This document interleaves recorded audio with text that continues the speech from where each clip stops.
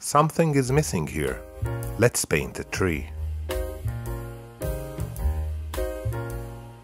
Tip number one. Paint the darkest shadows first. Try to imagine that you are sitting beneath the tree, relaxing in its shadow. Always paint trees from the inside out, from shadow to light.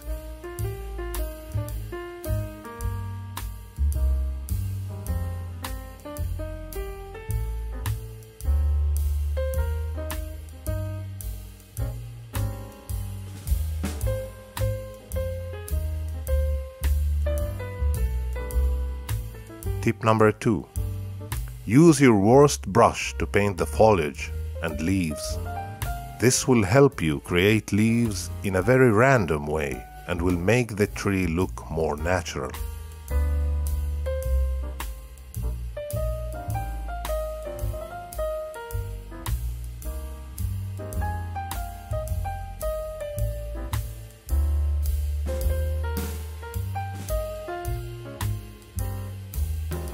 Tip number 3. Rotate the brush while painting the foliage.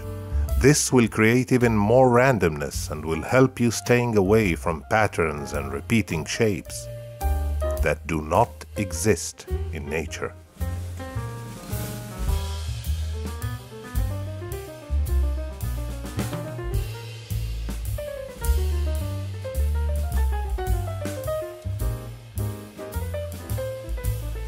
Tip number 4. Do your best to stay away from geometric shapes and patterns like squares, circles, and triangles.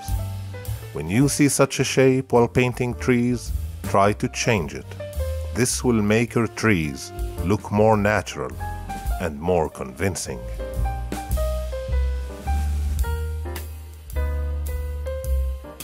Tip number 5. Paint the brightest leaves at the very end and try not to cover the entire areas that you painted before. Suggestions of bright leaves are enough. Sometimes in painting, less is more.